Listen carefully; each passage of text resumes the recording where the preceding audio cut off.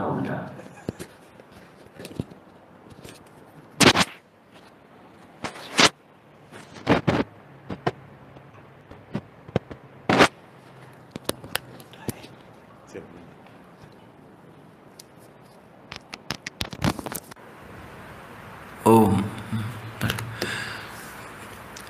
पूर्व अध्याय यावत् संजायते किंचित सत्यम स्थावर जंगमम क्षेत्र क्षेत्रज्ञ संयोगात तद विद्धि भरतर्षभ। यहाँ पे नहीं है श्लोक में, हम यहाँ उसको पूरा श्लोक ऐसा है। मतलब क्या हो गया? इति उक्तम। इसके पहले अध्याय में जो भी कुछ संसार में सृष्टि होती है, जो भी कुछ सृष्टि होती है, संजय ये सत्यम मतलब सत्विद्यमान वस्तु, वो चाहे स्थावर हो, चाहे जंगम हो, चाहे चलने चलने वाला हो, चाहे स्थिर हो, उत्पन्न कैसे होते हैं? क्षेत्र, क्षेत्रज्ञ, संयोगात। भगवान की दो प्रकृति है, एक परा प्रकृति एक अपरा प्रकृति शब्द मध्य में बोल करके आया। अपरा प्रकृति जो अष्टता है, भूमिरा, पनलो, वायुकम, मनोबुद्धि, है वच, अहंकार मितियम में भिन्न प्रकृति अष्ट है। अष्टता शंख योग में जिसको जो है मतलब प्रकृति विकृति के रूप में कहा गया है, वो परा प्रकृति है और एक जीवभूता महाभाव या एकदम धारवती जगत, ये परा प्रकृति है। इन दोनों के द्वारा जिसको क्षेत्र के शब्द के तरह यहाँ पे कहा गया है, इन दोनों के संयोग से सारा सृष्टि होती है। क्षेत्र, क्षेत्रज्ञ संयोग तद विद्य भगवान भाष्यकर यहाँ पे बहुत सुंदर समझा। ये जड़ और चेतन की जो संयोग को कहा जा रहा है, ये पारमार्थिक इन दोनों में कोई संबंध होना संभव ही नहीं है। ये आध्यासिक संबंध से इसकी प्रतीति होती है सृष्टि की। इति उक्तम। तत्र निरीश्वर शांख निराकरणेन क्षेत्र क्षेत्रज्ञ संयोग ईश्वर अधीनत्व वक्तव्यम। निरीश्वर शंख, एक शंख दर्शन का मतलब सृष्टि की प्रक्रिया को लेकर विचार करने वाले जो ज्ञान भाग है, उसमें एक वादी ईश्वर को मान्यता दिया, एक वादी ईश्वर को मान्यता नहीं दिया। शंख दर्शन में और हमारे पूर्व मीमांसा दर्शन में ईश्वर के बारे में कथन नहीं है। तो इसीलिए शांखो दर्शन को बोलते हैं, निर ईश्वर शांखो। परंतु परमहर्षि पतंजल ने ईश्वर को मान्यता दिया। पूर्वेशम अपनी गुरु काले नाना बच्चेदात अक्लेश, कर्म, आशय, अपरमिष्ट, पुरुष विशेष, ये जो ईश्वर की परिभाषा देते हैं योग दर्शन में तो इस प्रकार से यहाँ पे जो एक बार ईश्वर को लेकर के बोलने वाला सृष्टि की प्रक्रिया और एक ईश्वर को नहीं मान करके प्रकृति स्वयं अपने आप सृष्टि करती है, ऐसा उनकी कथन है। इसलिए बोलते हैं, निर ईश्वर सांख्य निराकरण ईश्वर रहित जो सृष्टि तत्व है, उसको व्याख्यान करने वाली जो पक्ष है, उस पक्ष को निराकरण के द्वारा भगवान क्या बोलेंगे यहाँ पे? मेरे अधीन होकर के, मेरी अधीन होकर के हमारी जो माया काम करके सृष्टि करते, इसलिए वहाँ स्वतंत्र प्रकृति और ईश्वर की आवश्यकता नहीं है। इस प्रकार के जो सिद्धांत है, उसको निराकरण के द्वारा क्षेत्र, क्षेत्रज्ञ संयोग क्षेत्र और क्षेत्र संयोग है, वो ईश्वर अधीनतम। यानी कि क्षेत्र यद्यपि भगवान बोल करके आया, क्षेत्रगम चापी माम विद्य सर्व क्षेत्रेशु भारत। परंतु यहाँ पे मधुसूदन सदी बोला, क्षेत्र, क्षेत्रज्ञ का जो संयोग है है ना, वो क्या होता है ईश्वर अधीनत्व वो ईश्वर के अधीन होकर के ही वो क्षेत्र का क्षेत्र का संयोग मतलब जिससे सृष्टि होना संभव है। ये अध्यारोप के माध्यम से सृष्टि की प्रक्रिया को बताते हैं, वो होना संभव है, उसको दिखाने के लिए वो कैसे होना संभव है, ये अगले, ये अध्याय शुरू हो रहा है। इसके सिवा और भी बोल रहे हैं, एवं इसी प्रकार से कारणम गुण संगस सत असत योनिजन्मसु इति उक्तम। ये भी कहा, ये जो गुण के साथ पुरुष का जो संबंध माइक संबंध जो प्रतीति होते हैं, इसी के कारण से इनको सत असत योनि में जन्म लेना पड़ता है। कारण गुणसंग अस्य अस्य जीवस्य। कार, गुणसंग गुण के साथ जो तादात्मता वो क्या होता है? सत असत योनि जन्मसु कारणम। सत असत योनियों में सत असत अच्छे बुरे योनियों में, चतुर्दश चौरासी लाख योनियों में जन्म के पीछे कारण होता है इति उक्तम। ये भी कहा गया। अब, इन अवस्था में होता है, तत्र कस्मिन गुणे कथम संग किस प्रकार के गुण में कैसे संबंध होना और उसके संबंध होने के बाद उसका फल क्या होना, ये कैसे समझे है, ये सारा बोलना है। तत्र इस विषय में कस्मिन गुणे, किस गुण में, कथम संग कैसे आसक्त होता है ये? केवा गुणा, ये गुणा क्या कौन, क्या वस्तु होता है? ये गुणा शब्द बड़ा प्रॉब्लमेटिक शब्द है। मतलब क्या होता है कि अलग अलग दर्शनों में अलग अलग स्थिति में गुणों का अलग अलग अर्थ होता है। है ना? अलग अलग दर्शनों में, ये सांख्य दर्शन में तो यहाँ पे गुण मतलब सत्य रजतमो तीन गुण को बोलेंगे, योग दर्शन भी इसको बोलता है। परंतु न्याय वैशेषिक दर्शन में आकर चौ, चौबीस गुण हो जाते हैं। चौबीस गुण हो जाते हैं। और फिर जो है, हमारे धनुष विद्या में गुण चढ़ाना मतलब वो जो है, धनुष को बांधना, उसको बोलते हैं गुण टाइट करके। व्याकरण में जाएँगे तो गुण किसको बोलेंगे फिर? देंगे गुण। देखोगे गुण के अलग परिभाषा गुण मैथमेटिक्स में जाएँगे मल्टीप्लीकेशन व्यवहार में सामान्य गुण मतलब इट्स गुड क्वालिटी गुण मतलब गुड क्वालिटी इसलिए यहाँ पे, जहाँ पे जिस दर्शन को हम पढ़ते हैं, उस समय तद दर्शन के अनुसार इस गुण शब्द के अर्थ को हमको समझना है। इसलिए कि तत्र कस्मिन गुणे, किस गुण में कथम संग कैसे उसके साथ जुड़ जाते हैं हम? आशक्ति हो जाते हैं। के व गुणा, ये गुण क्या वस्तु है अथवा क्या क्या वस्तु है? कथम व ते बधनंत, ये गुणा कैसे हमको बांधते हैं? मानते कौन है? किसको? जीव को बांधते कौन है? एक गुणों के साथ तादात्म करके जब हम व्यवहार करते हैं तद अनुकूल कर्म करते हैं, और कर्म के अनुसार फल पाने के लिए हम गुण ही हमको बाँध देते हैं। कथम बदनंत इति वक्तव्यम, ये कहना होगा। अभी इसलिए ये अध्याय शुरू हो रहा है। तथा इसके सिवा और भी बोल कर गया, भूत प्रकृति मोक्षम च, ये विधुर्यांति ते परम।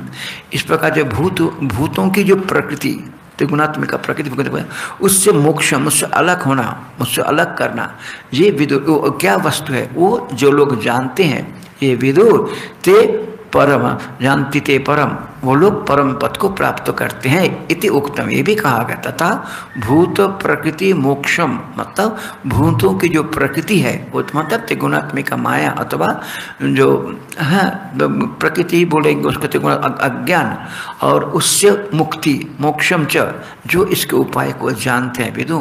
ते परमम यान्ति उस लोग जो है परम पद को प्राप्त करते ये भी कहा इति उक्तम। तत्र भूत प्रकृति शब्दितेभ्य, भूत और प्रकृति इन दोनों शब्दों से कहा गया है, गुणेभ्य। जो गुण, तीन त्रिगुणात्मिक जो प्रकृति है तीन प्रकार के जो गुण है, उन गुणों से गुणेभ्य। कथम मोक्षणम कैसे मुक्ति होना संभव है? शायद मोक्षणम शायद मुक्त सच किम लक्षणम ये तर्जुन का प्रश्न होगा।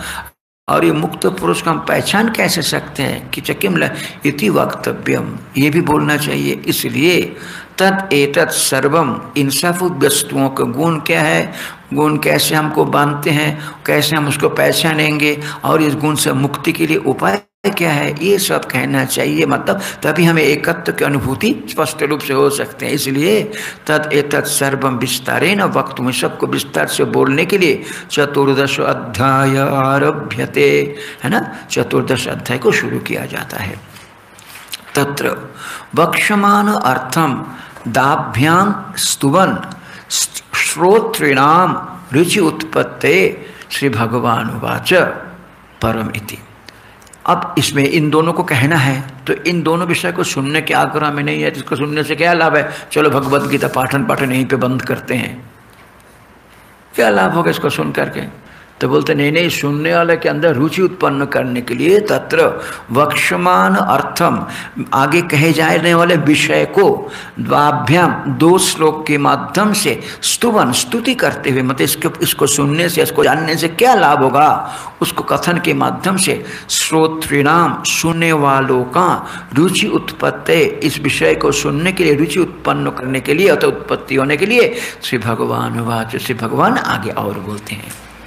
क्या बोलते हैं? आप श्लोक में आ जाइए।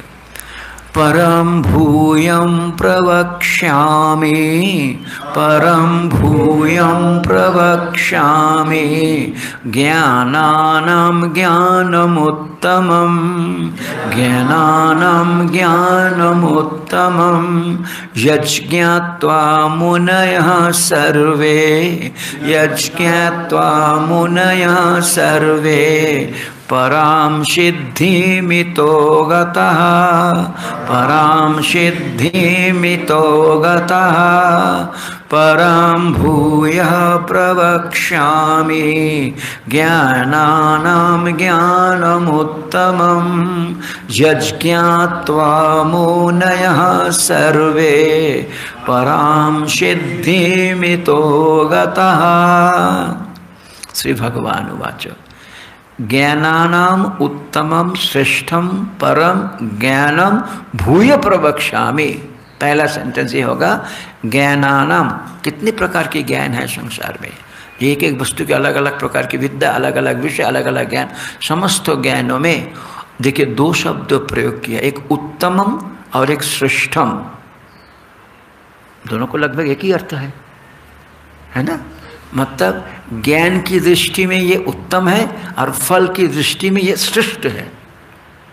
इस ज्ञान का इसलिए दो शब्द प्रयोग करते हैं भगवान श्री कृष्ण यहाँ पे। ज्ञानानाम उत्तमम श्रेष्ठम परम ज्ञानम।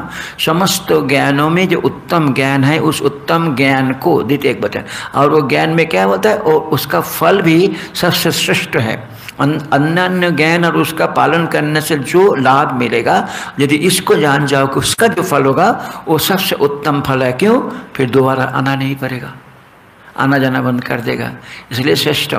परम ज्ञानम भूय प्रवक्षम। ये जो श्रेष्ठ ज्ञान है, इस ज्ञान को, यानी कि भगवान की दृष्टि से, ये पहले कथन करके आया। मतलब भगवत गीता भगवान की दृष्टि से द्वितीय अध्याय में पूरा हो गया। द्वितीय अध्याय में ही भगवत पूरा हो गया। परंतु अर्जुन की एक के बाद एक प्रश्न आता है कि उसको उत्तर देते हुए यहाँ तक पहुँच गए। तब बोलते इसलिए भूय, दोबारा मैं तुमको कहूँगा, ज्ञानम वृक्ष में। इससे लाभ क्या होगा?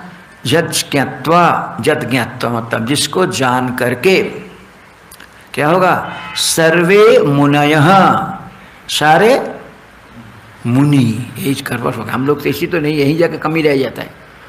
मतलब मनन करना, मननम एवं शीलम जैसम ते मुनि, मननात् मुनि। मननम एवं शीलम जैसम ते मुनि और मुनय ते ते मुनय। मतलब किस कोई चीज़ को सुन करके, उसी को मन में धारण करके बार बार उसको विचार करके समझने का जो कोशिश है, इसी को मनन बोलते हैं। इसलिए श्रवण के बाद मनन कहा जाता है वेदांत में। तो जज कहता, सर्वे मुनय। हमेशा देखना कि हमारे यहाँ पे जो कहीं संबोधन करके अधिकारी को कहा, कहीं कुछ ऐसा शब्द प्रयोग किया जिससे अधिक कि इसके एकत्व बोध कैसे होगा। यदि आप मननशील होंगे तो सर्वे मुनय जो भी इस प्रकार मननशील होंगे, सभी मुनि का इत परम सिद्धिम गतः मतलब इस शरीर को छोड़ करके परम सिद्धि मतलब इस संसार बंधन से मुक्त हो जाता है, प्राप्त गता मतलब मुनय गता मतलब प्राप्त, परम सिद्ध को प्राप्त करते हैं, भगवान के साथ हो जाते हैं। इस गुण से परे चले जाते हैं, गुणातीत हो जाते हैं। यही मनुष्य जीवन का लक्ष्य क्योंकि अर्जुन समस्त जीव का प्रतीक है है ना? तो क्या बोलता है? त्रैगुण विषयावेदा निस्त्रय गुण भवार्जुन तो मनुष्य जीवन के लक्ष्य क्या है? गुणातीत अवस्था में हम कैसे पहुँच सकते हैं? है ना? गुण तो रहेगा। कहाँ जाएँगे? संसार के बाहर तो जा नहीं सकते। मतलब संसार में सारा गुण जो जो भी लीला लीला दिखाई पड़ते हैं, परंतु वो एक निर्गुण अधिष्ठान के ऊपर हो रहा है। उस निर्गुण अधिष्ठान को देखने की अभ्यास करना, वहीं पे मन को लगा के रखने की अभ्यास करना, तब जाके उस निर्गुण अवस्था में हम पहुँच सकते हैं और निर्गुण अवस्था में पहुँच करके मतलब मन को वहाँ पे रख करके और जो गुण की लीला शरीर में हो रहा है उसके साक्षी बन कर देख सकते हैं। गुण के साथ आराधना नहीं करेंगे। इसलिए वक्त बोलते हैं, यही जो है, भगवान मतलब यदि ये कर सकते हो तो क्या होगा? लाभ क्या होगा? परम सिद्धिम गता परम सिद्धि को मतलब श्रेष्ठ फल को प्राप्त किए हैं। कौन लोग? मुनि लोग। देखो, यहाँ पे जो अधिकारी, विषय प्रयोजन सब बता देते हैं एक श्लोक में। अब यहाँ पे ऊपर मनुष्य मधुसूदन सरस्वती बोल रहे हैं, जो ज्ञानम उत्तमम प्रवक्षा में तो ज्ञान क्या वस्तु है? जैसे हमने बोला ना कि ये घट है, ये पट है, ये मठ है, ये हिमालय है तो सबके साथ है समझने के बाद अब ये उपाधि को छोड़ करके है क्या वस्तु है, वो समझना है हमको। अब इसी प्रकार से मैं घट को जानता हूँ मैं पट को जानता हूँ, मैं मठ को जानता हूँ, हिमालय को जानता हूँ, भगवत गीता जानता हूँ, वेदांत तो जानता हूँ तो ठीक है। परंतु ये ज्ञान क्या वस्तु है? वो क्या वस्तु है? उसको लेकर के स्वतंत्र विचार करेंगे। तो यहाँ पे एक ज्ञानम उत्तम बोलते हैं। ज्ञायते अनेन इति ज्ञानम, परमात्म ज्ञान साधनम। ये वो ज्ञान है जो परम आत्मा, शुद्ध आत्मा, व्यापक आत्मा की ज्ञान के लिए जो साधन है। परम श्रेष्ठम, परम शब्द का अर्थ हो गया श्रेष्ठम। मतलब क्यों? पर वस्तु विषय अर्थात क्योंकि श्रेष्ठ वस्तु को विषय करने के कारण। जैसे फिजिक्स का ज्ञान केमिस्ट्री का ज्ञान मैथमेटिक्स का ज्ञान इकोनॉमिक्स का ज्ञान इंग्लिश का ज्ञान हिब्रू का ज्ञान, कोई भी ज्ञान होता है, इन सभी ज्ञानों में और उन उन विषय से, ये देखो, ये ज्ञान इससे अच्छा है, ये ज्ञान इससे अच्छा है। पहले हम ए बी सी टी सीखते हैं तो उसका एक ज्ञान हुआ। वन टू सीखते हैं, उसके बाद हमने जोड़ना, घटाना सीखा, वो सीखना, वो ज्ञान उससे अच्छा है शंका ज्ञान से अच्छा है। इसी प्रकार उसका और एप्लीकेशन हायर होता जाता है तो ज्ञान और अच्छा होता है। तो यहाँ पे जो है, बोलते हैं कि श्रेष्ठम परम वस्तु विषय ये ज्ञान सबसे श्रेष्ठ ज्ञान है, अर्जुन, क्योंकि इस ज्ञान का विषय संसार की सबसे श्रेष्ठ वस्तु है। इस ज्ञान का विषय संसार की सबसे श्रेष्ठ वस्तु है, इसलिए इस कीदृशम तत्? ये ज्ञान तब किस प्रकार के है? कीदृशम तत्? ज्ञानानाम ज्ञान साधनानाम बहिरंगानाम यज्ञाद्याम मध्य उत्तमम उत्तम फलत्व। देखिए, श्रेष्ठ वस्तु विषय करने के लिए ये ज्ञान जो है उत्तम है। और क्या बोलते हैं? कीदृशम तत्? ज्ञानानाम ज्ञान साधन। ज्ञानानाम मतलब ज्ञान प्राप्ति के लिए जितना साधन है। साधन को दो भाग में विभाजन करता है। एक हो गया बहिरंग साधन, एक हो गया अंतरंग साधन। ध्यान देना, सुबह बोल करके आया? कोई साधन नहीं करना है। और यहाँ पे क्या बोल रहे हैं? साधन करने के बाद साधन छोड़ना है। साधन करने से पहले नहीं। अंतरंग साधन, बहिरंग साधन दोनों। बहिरंग साधन क्या होता है? अपने वर्ण और आश्रम भीत कर्म को निष्काम भाव से पालन करना, ये होता है बहिरंग साधन। और अंतरंग साधन होता है, तब जब अंत मतलब अंतकरण शुद्ध हो जाता है, तब क्या होता है कि मन फिर जो है कर्म के प्रति नहीं जाता और मन तब ईश्वर चिंतन में लगता है। मतलब हमारा कर्म जो सही हो रहा है कि नहीं हो रहा है, इसका प्रमाण यही है कि भगवान के प्रति भक्ति भगवान में मन अधिक होगा। निष्काम कर्म युग का फल है भगवान भक्ति कहता है, सेम। अब जिसके प्रति प्रेम होता है, मन अपने आप उधर दौड़ते हैं। फल तो क्या हो जाएगा? तो यदि हम निष्काम कर्म ठीक से कर पाएँगे, मन अपने आप धीरे धीरे भगवान में लगने लगेगा। भगवत चिंतन करने की इच्छा होगी। जब इस प्रकार की तो भगवत चिंतन करते करते तो फिर एक स्टेप आगे तो वो उपासना हो जाएगा। अंतकरण शुद्ध हो जाएगा मल दुष जाएगा। फिर उपासना करते करते विक्षेप जाएगा, इधर उधर। फिर जो है भगवत तत्व क्या वस्तु है? भगवान की चिंतन करना अच्छा लगेगा। नेक्स्ट स्टेप है। उसके बाद थर्ड स्टेप में क्या हो जाएगा?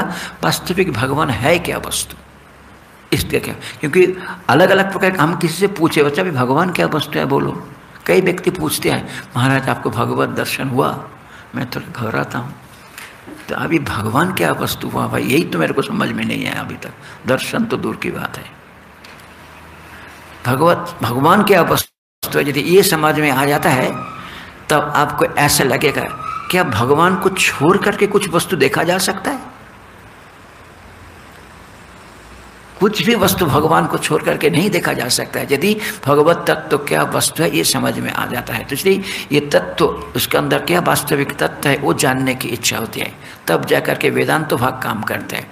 परंतु अंतिम में क्या होता है कि सारा शास्त्र को जला करके एक अनोखा एक वस्तु अनुभव जो है, मन में अभिव्यक्त होता है, जो इसका फल फल तो हम नहीं बोलेंगे। अब, क्योंकि वो पहले से विद्यमान था।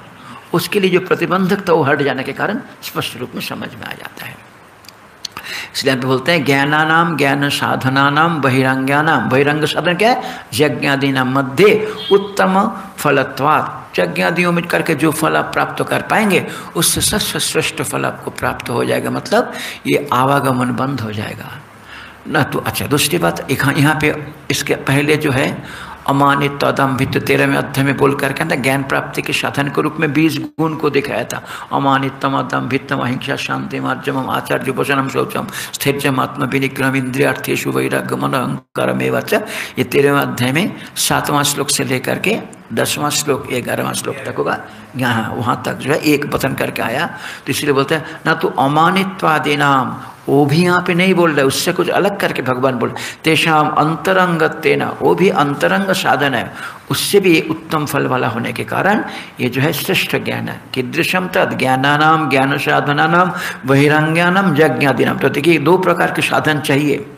साधन किए बिना साधन छोड़ना संभव नहीं है। मतलब क्या है कि देखो साधन जिस प्रकार हम गंगोत्री जाना चाहते हैं तो किसी बस में बैठा गया वहाँ पे तो जब गंगोत्री पहुँच गया, तब हम बस को छोड़ देते हैं। और गंगोत्री छोड़ पहुँचने से पहले ही अगर बस को छोड़ देंगे, तब इधर उधर पहले ही ढूंढेंगे कि कहीं गंगोत्री तो नहीं है, और फिर नहीं मिलेगा तो फिर पैदल जाना पड़ेगा। धीरे धीरे धीरे धीरे।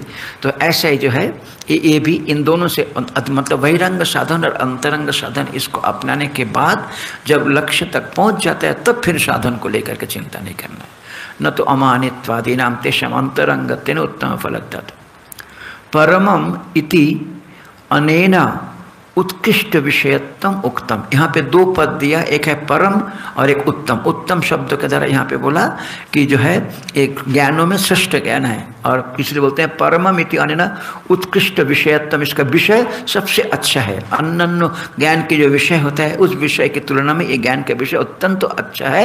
इसीलिए यहाँ पे परम शब्द प्रयोग और उत्तमम जो उत्तम जो शब्द प्रयोग, उसके इति अनेना तो उत्कृष्ट फलत्तम इति भेद। दो पद आया यहाँ पे, एक उत्तमम और एक परम। इनमें दोनों में क्या भिन्नता है? एक में विषय दृष्टि से सबसे अच्छा है और दूसरे में फल दृष्टि से सबसे अच्छा है। इसलिए बोलता है उत्तम इति अनेन तो उत्कृष्ट फलोत्तम इति भेद। एक में फल की श्रेष्ठता, एक में विषय की श्रेष्ठता। ये दोनों में विशेषता को यहाँ पे कहना चाहते हैं भगवान श्री कृष्ण। ईदृशम ज्ञानम अहम प्रवक्ष्यामी। इस प्रकार के ज्ञान के बारे में मैं अभी तुमको कहूँगा। ईदृशम ज्ञानम अहम प्रवक्ष्यामी। इस प्रकार के ज्ञान को अभी मैं तुमको कहूँगा। भूय पुनः मतलब भगवान बोलना चाहिए ज्ञान हम पहले बोल करके आया। तुमको पूरा समझ में नहीं आया तो सिख क्या करते? हैं गुरु को बार बार बोलना पड़ता है घुमा घुमा के इधर उधर करके। और भगवान तो अंतर्जामी है समझ जाते हैं कि नहीं आया समझ में, ठीक है, दोबारा बोलता हूँ। इसलिए भूय मतलब पुनः पूर्वेशु अध्यायु असकृत उक्तम पहले अध्यायों में इसके पहले बारह अध्याय में अलग अलग प्रकार से पूर्वेशु अध्यायेशु, अनेक पूर्व बारह अध्यायों में अध्यायों में, हर जगह पे कुछ ना कुछ, हर जगह पे अगर आप देखेंगे सभी अध्याय में, जहाँ पे कर्मयोग के बारे में कथन किया, वहाँ भी दो श्लोक ऐसा प्रयोग कर दिया। वहाँ पे जो कर्मयोग में दो आपका सत्रह और अठारह नंबर देखो जस, जस्तु आत्मरतिरेव सत आत्मतृप्त समानव आत्मन्य बचा संतुष्ट तस् कार्य न विद्यते। देखो, ये आत्मा की संतुष्ट तृतीय अध्याय में, तृतीय अध्याय में जस्तु आत्मरतिरेव सत आत्मतृप्त मानव आत्मन्य बचा संतुष्ट तस्य कार्य न विद्यते। नैव तस्य कृतेनार्थ न कृतनेह कश्चन, न चस्त सर्वभूतेषु जिस व्यक्ति आत्मा में ही तृप्त, आत्मा में संतुष्ट, आत्मा में ही रति रहते हैं, उसके लिए कोई क्रिया की आवश्यकता नहीं। कोई कर्म की आवश्यकता नहीं। हो गया उसका जिसके लिए कर्म करना था वो उनका पूरा हो गया। ये वहाँ भी बोल करके हर अध्याय में कुछ ना कुछ हमने बोल करके आया इस दिशा ज्ञान के बारे में। और उसको फिर यहाँ पे तुमको दोबारा कहता हूँ। ईदृशम ज्ञानम हम प्रवक्षामी भूय पुनः पूर्वेशु अध्यायु असकृत उत्तम कई बार कहने पर भी, ठीक है भाई फिर यहाँ पे दोबारा क्यों बोलेंगे? क्योंकि जद ज्ञानम ज्ञातवा, जिस ज्ञान को जान करके, मधुसूदन सरस्वती यहाँ पे लिखते हैं, अनुष्ठाय। मधुसूदन सरस्वती ग्रंथ में एक विशेषता मेरे को यही दिखाई दे रहा है, साधक अपने मानसिक अनुशीलन कैसे करे, उसके ऊपर ज़ोर दे रहे हैं। शुरू से मैं इस ग्रंथों में विशेष भाष्यकार की तुलना में अथवा आनंद गिरी की जो टीका के अनुसार, उससे मधुसूदन सरस्वती एक साधक अपने जीवन में कैसे साधन को अपने इसलिए ज्ञाता मतलब अनुष्ठाय उसमें क्या अनुष्ठान करेंगे? ज्ञा धातु से त्वा प्रत्यय किया और यहाँ पे अनुष्ठा स्था धातु से आपका अनुपसर्ग व्यवस्था धातु से आपका क्या हुआ यहाँ पे? लैप हुआ है, अनुष्ठान करके। तो अभिप्राय यही है कि यद ज्ञानम ज्ञातवा मतलब अनुष्ठाय। अनुष्ठान क्या है? कि आगे अनुष्ठान क्या है? वो अपने बोलते हैं मून ये अनुष्ठान। अधिकारी को दिखा करके क्या अनुष्ठान है? मनन करना ही अनुष्ठान है। श्रवण के बाद मनन करना यही अनुष्ठान। कोई अनुष्ठान, बाहरी अनुष्ठान नहीं है। तो मुनय मननशीला, एक शब्द और लिखा। संन्यासीन। तो क्या? परंतु संन्यास का परिभाषा भगवान ष्ठ अध्याय के पहला श्लोक में देकर के आया। संन्यास से भगवान की क्या श्री कृष्ण की क्या अभिप्राय है? अनाश्रित कर्म फलम, कार्यम कर्म करो तिज स संन्यासी च योगी च। हम इधर उधर जाने की आवश्यकता नहीं है। भगवान स्वयं एक एक शब्द का क्या विपरीत अर्थ है, अपने आप बोल करके आया। अनाश्रित कर्म फलम कार्यम कर्म करो तीजा कर्म फल की आशा नहीं करते अपनी कर्तव्य कर्म को, जब हमने संन्यास मार्ग में आया और अथवा ब्रह्मचारी हमने अपने जीवन के लक्ष्य निश्चय किया तो उस जीवन के लक्ष्य तक पहुँचने के लिए हमारे जो कर्तव्य कर्म है, उस कर्तव्य कर्म हमको करना है। इसलिए हम बोलते हैं, सन्यासी तो यह कार्य सन्यासी च, योगी च। और योगी भी है, और अपने आप दृष्ट श्लोक में न सन्नस्त संकल्प योगी भवती कश्चन। जब तक आप कर्म फल से मतलब फल इच्छा को नहीं सकते मतलब जागतिक वस्तु क्या है, ये करके ये मिलेगा, ये करके, ये भावना मन से नहीं निकलता है, तब तक हम योगी नहीं बन सकते हैं। क्यों? योगी का योगी का क्या परिभाषा है। युक्त इति उच्चते योगी। जिसका मन भगवान से जुड़ गया, वो योगी है। और अब मन क्या है? संसार के विषय को चिंतन करते हैं तो योगी कैसे हो सकता है? इसलिए वो संन्यास है। क्या संन्यास है? जो परिच्छिन्नता में आतादात्मता बुद्धि और उसको रक्षा करने के लिए बाहरी वस्तु की प्राप्ति की इच्छा, वो इच्छा मन से निकाल जाए। वो हो गया संन्यास। और यदि वो होता है तो मन भगवान से जुड़ेगा, तब हो जाएगा योगी से सन्यासी च, योगी च। न च निराग्नि, न क्रिय जो अग्नि अनुष्ठान आदि करना छोड़ दिया, क्रिया छोड़ दिया, मैं संन्यास ले लिया, कोई कर्म कैसे कर सकता हूँ? वो उसको भगवान श्री कृष्ण जो सन्यासी नहीं बोला। है ना? इस ष्ट अध्याय में आया हुआ। तो मननशिला सन्यासी ध्यान रखना, यहाँ पे सन्यास शब्द भगवान भाष्यकर भी, संन्यास शब्द माने वस्त्र संन्यास को लेकर के नहीं बोलते हैं, अंदर की संन्यास मतलब जागतिक वस्तु से मन उठ जाना। सिन्नासीन सर्वे, जो भी कुछ इस व्यक्ति इस प्रकार से मन को भगवान में लगा सक, सभी व्यक्ति को इसमें कोई मतलब इसको मिला है, इसको नहीं मिला है नहीं है, सभी एक ही रिज़ल्ट मिलेगा सबको। पराम सिद्धि पराम सिद्धि मतलब मोक्षाख्याम, जिसको मुक्ति के नाम से कहा जाता है। मुक्ति की कंसेप्ट भी अलग अलग वादियों की अलग अलग है। पूर्व मीमांसा दर्शन में मुक्ति मतलब स्वर्गलोक में जाएँगे, देवताओं के साथ सुख भोगेंगे, यही मुक्ति है। प्रवाह कर थोड़ा सा आगे और आ गया। उपासना के द्वारा ब्रह्मलोक में जाएँगे तो उसको ही मुक्ति माना। और वेदांति बोलते हैं, अरे, व्यापक तत्व को जानने से तुम्हारा आने जाने का जगह ही नहीं रहेगा। इसको समझना ही मुक्ति है।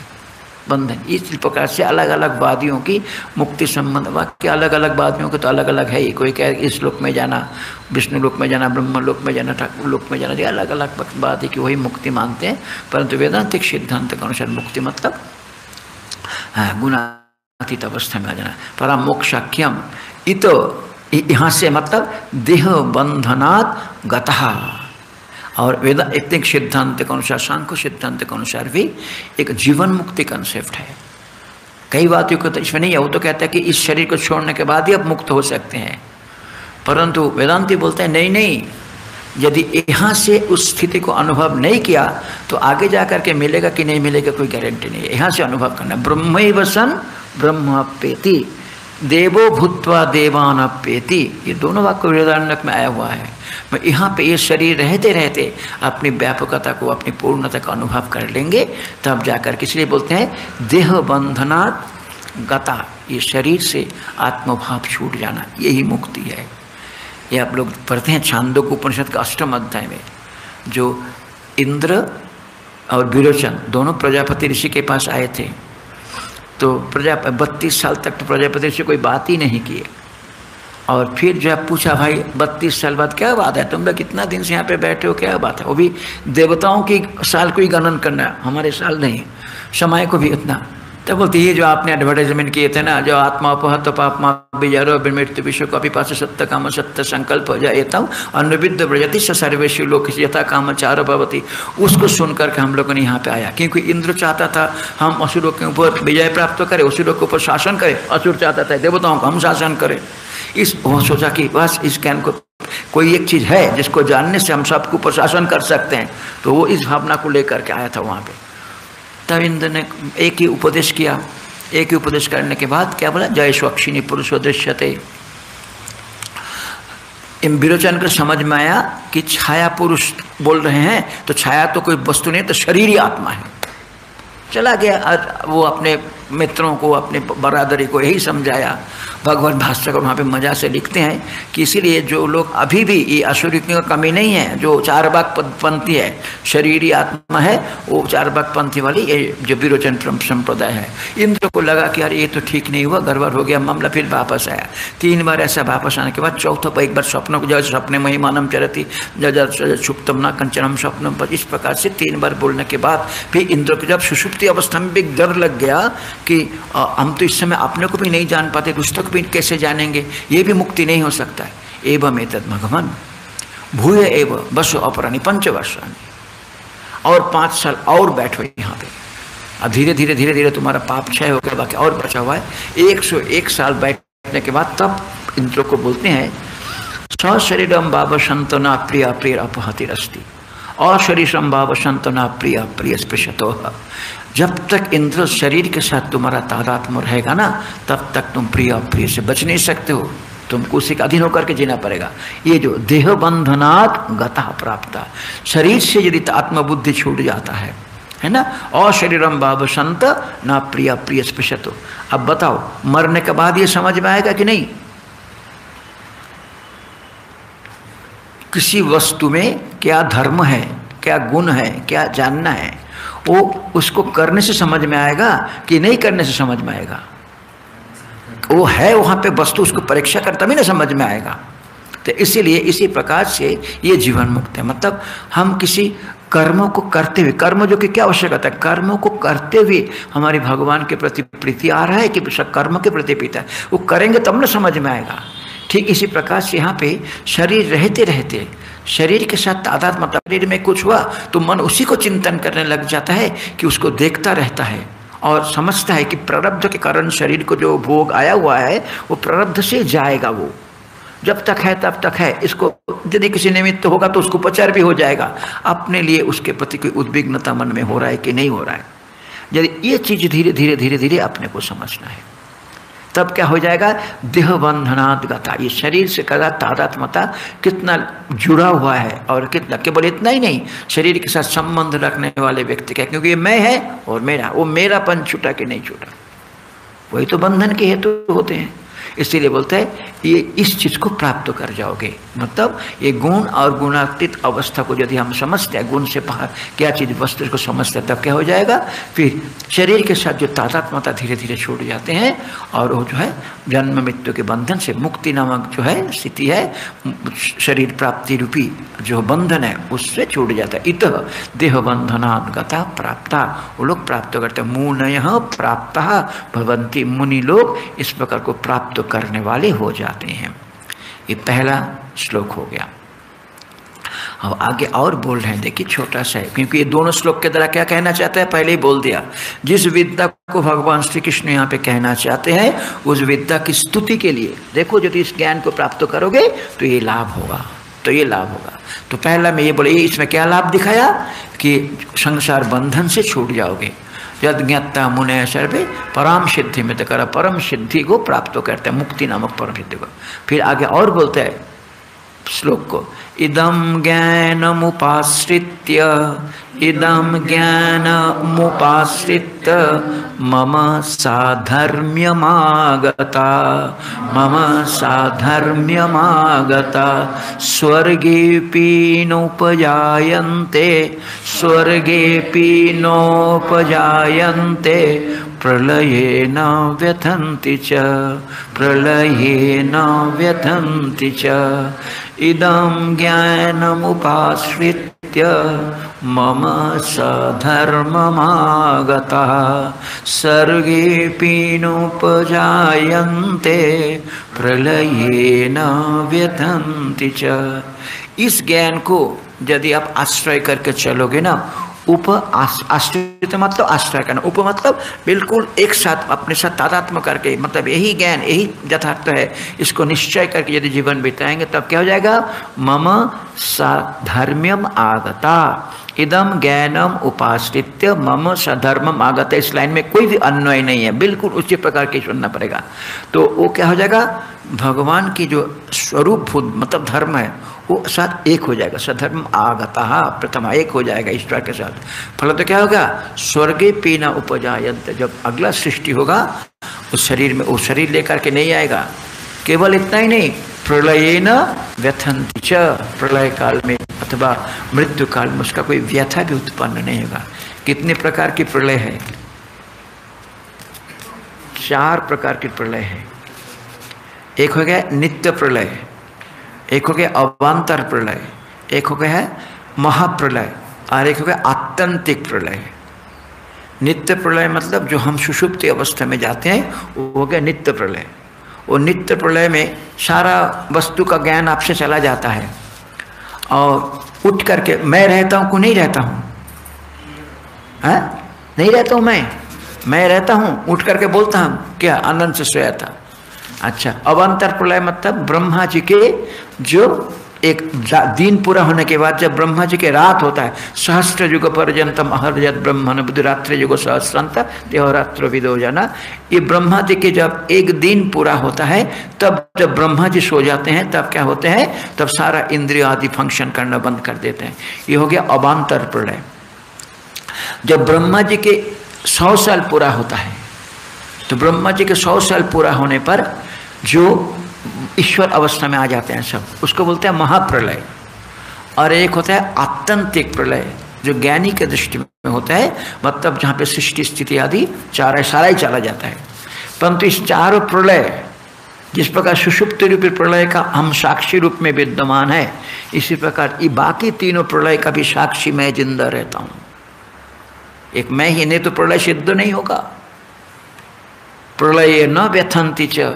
प्रलय में भी ये व्यथित नहीं होते। ध्यान रखना कि जब महाप्रलय, आत्यंतिक प्रलय में भी जो व्यथित नहीं होता, आत्यंतिक प्रलय में भी जिसका नाश नहीं होता, जो प्रलय के साक्षी रूप में जो विद्यमान रहता है, वो हमारा पारमार्थिक स्वरूप है। इस प्रलय की प्रमाणित करने के लिए प्रलय हो जाता है, इसीलिए यहाँ पे बोलते हैं, प्रलय न व्यथनते। चाहे प्रलय काल में भी उसका कोई दुख नहीं होता, क्योंकि अपना अस्तित्व तो रहता है। अस्थिर अस्थिर रूप जो मेरा स्वरूप है, वो तो हमेशा रहता है। इस प्रकार, इस ज्ञान को समझने के फल स्वरूप क्या होगा? जन्म भी नहीं होगा और प्रलय में आपका कोई दुख, व्यथा भी नहीं उत्पन्न होगा। परंतु समय तो दुख उत्पन्न कर रहा है। हो गया पूरा। आज यहीं पे रखेंगे, क्योंकि इसके बाद में यहाँ पे अच्छा ये बताइए यदि सवा तीन बजे कहते हैं क्योंकि सीताराम जी बोल रहे थे कि इसके बाद में जो क्लास है ना, सवा चार साढ़े चार बजे है। साढ़े चार बजे तो आधा घंटे समय जो है, यहाँ पे बैठना पड़ेगा। तो हम यदि सवा तीन बजे शुरू करते हैं तो सवा चार बजे हम समाप्त कर देंगे। तो पंद्रह मिनट में मतलब कोटि स्वामी जी का जो भी होगा, अथवा आप लोग जो नहीं रहे तो बात अलग है। और जो सुनते हैं तो उनके लिए अधिक समय गैप नहीं होगा। सीताराम जी बोल रहे थे, कोटि स्वामी जी को मैं बोला, बोलते हैं, देखिए यदि हमारे कौन खोल रहे आज में ठीक सवा चार बजे ही समाप्त कर देंगे। एक, दो मिनट में तो आधा घंटा समय रखा था कि जो विद्यार्थी लोग होते हैं ना क्योंकि थोड़ा बाहर जाना, पानी पीना आदि की आवश्यकता होते हैं, इसलिए इसलिए सोचे थे। थोड़ा आधा घंटा समय कि किसको पानी पीना के बाद सुन जाना कुछ आवश्यक, इसलिए सोचे थे। तो देखते हैं जैसे भी होगा। क्या करें?